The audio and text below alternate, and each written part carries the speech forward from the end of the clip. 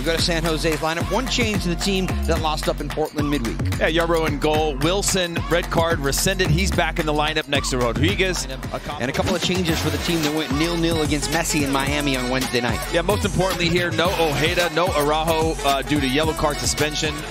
The newcomer, the Argentine 23-year-old attacking midfielder, and he makes his PayPal Park debut here tonight. And getting his third start of 2024 The Quakes. We're underway here in the first half with the Earthquakes attacking from left to right across your screen. Fourth time these teams will meet in Northern California's seventh all-time meeting. And it is going to be a change here for Oscar Pareja. And it comes in the opening 15 minutes. Lynn, good collection with a defender on his back, picks out Lodeiro. Muriel now into some open space. Thórhallsson finding his way into the attacking third. Pellegrino trying to get there defensively and of half cross, half shot, caught, caught between two thoughts maybe, and it winds up in the gloves of Yarbrough. 26 minute of play, and all of a sudden it's the Quakes that are starting to probe, look for openings of Ebobisse. Quick ball off his feet. Gruezo. Gruezo comes up with his first big save of the night.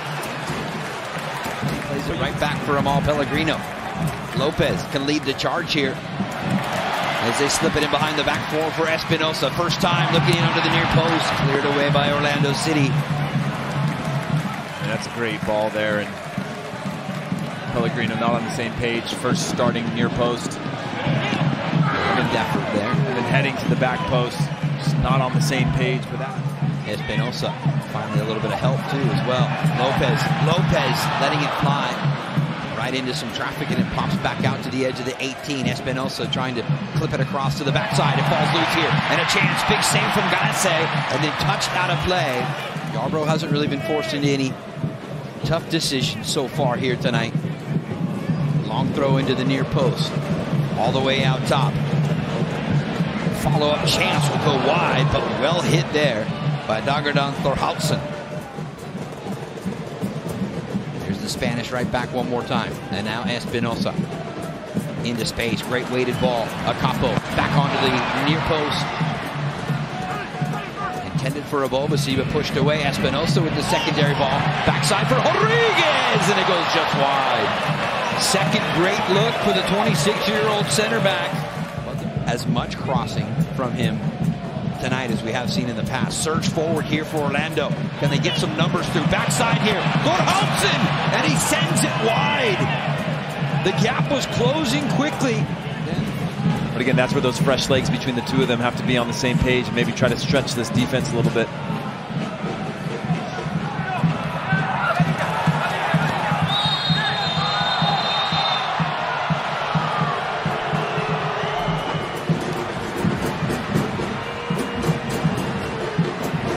70 plus minutes on the night without Malik Badawi. Torres just outside the edge of the 18. Muriel will make the attacking run. That creates space here for Torres. Inside for Lodeiro. Squeaking it through. Numbers inside the area. Still looking. Save there from Yarbrough. His biggest of the night. Not out of danger just yet.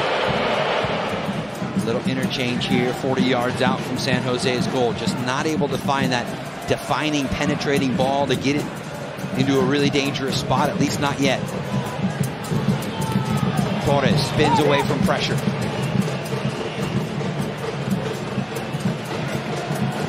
distance, and that one will go up and over the bar and into the Ultras, back behind William Yarbrough and the San Jose net.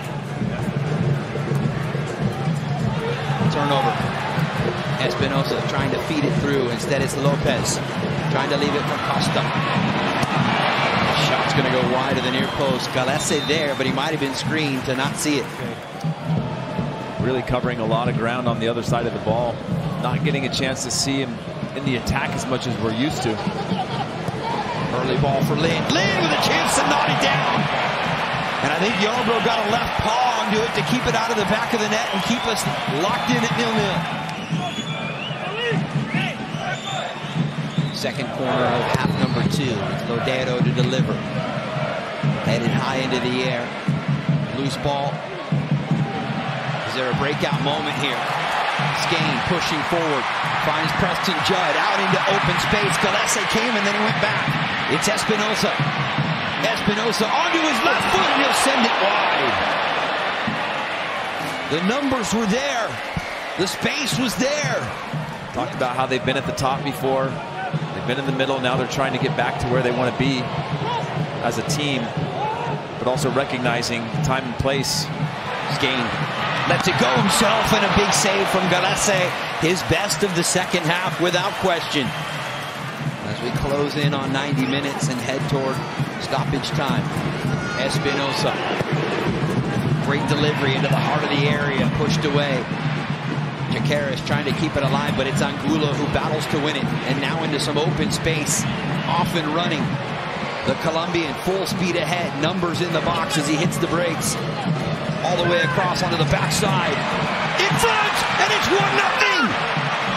Orlando City has found the breakthrough.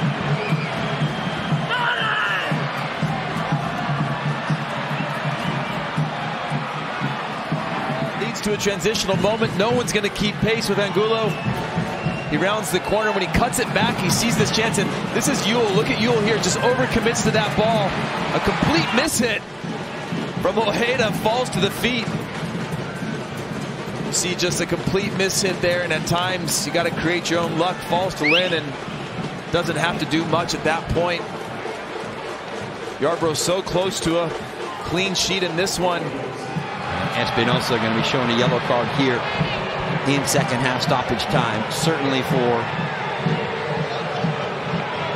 probably his discussion with referee Malik Badawi. Back inside. Lonero will win the ball, and there is the full-time whistle. Really against the trend of the second half. When it looked like San Jose might sniff out a winner, it's Oscar Pareja